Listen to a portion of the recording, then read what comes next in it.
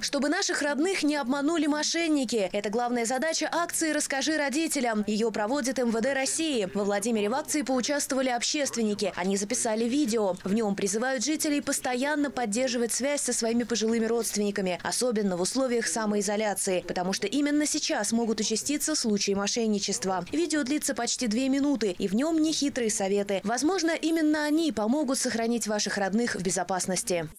В первую очередь позвоните родным. Мы должны предупредить их, что по телефону или в дверь могут звонить злоумышленники, которые будут предлагать какую-то помощь, льготы, бесплатные лекарства. Под видом работников социальных служб под разными предлогами. Например, померить температуру.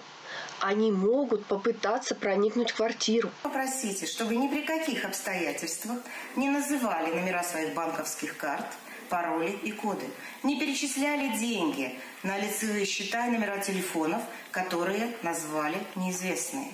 Если вдруг кто-то позвонил и сказал, что ваши близкие в беде, не надо паниковать. Просто перезвонить своим родным.